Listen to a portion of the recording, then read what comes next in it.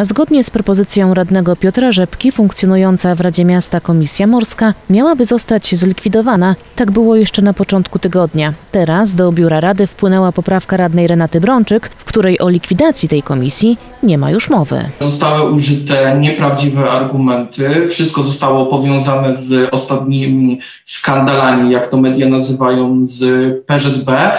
No i zostało to połączone z Komisją Morską, dlatego że tematyka jest podobna. Natomiast ja, tworząc y, te zmiany, projektując to, całkowicie się tym nie kierowałem i trudno to będzie, w to będzie uwierzyć pani redaktor oraz mieszkańcom, ale nawet tych faktów nie skojarzyłem. A to na naszej antenie przewodniczący Komisji Morskiej mówił, że jej likwidacja to skandal, bo komisja chciała się zajmować PZB, spółką Skarbu Państwa, wokół której jest ostatnio bardzo głośno, między innymi za sprawą odwołania prezesa i zatrudnienia żony radnego z Prawa i Sprawiedliwości. To jest y, rozchwianie emocjonalne inicjatorów tego pomysłu, czyli pana radnego Rzepki, pani Brączyk i stronników Prawa i Sprawiedliwości, którzy podpisali się pod tym projektem uchwały. Chcieli zamknąć usta mm, y, miastu, czyli Radzie Miasta, żeby sprawy morskie, w tym współpraca z Polską Żeglugą Bałtycką, y, nie miały swojego miejsca, gdzie mogą być y, omawiane. Samorząd i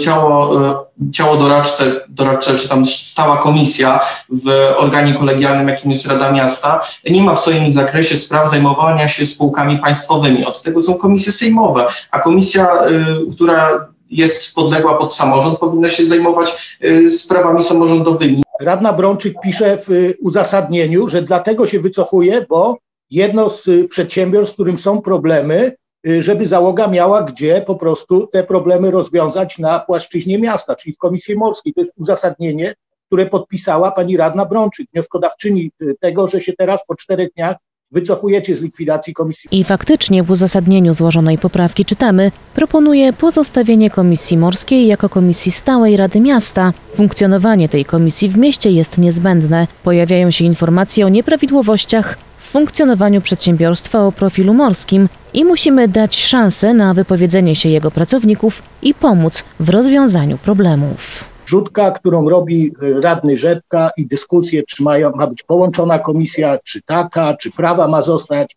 Miał rok czasu, przewodniczył Komisji Prawa, y, mógł, miał większość, mógł doprowadzić, żeby, zro, żeby zrobić tak, żeby tak było. To nie było tak, że ktoś e, wymyślił taki pomysł i powiedział, a Piotrek, e, zrób to, bo ty się znasz na statucie. Nie, nie. Tak samo jak dwa lata temu usiadłem do kompleksowych zmian w statucie, tak samo teraz usiadłem.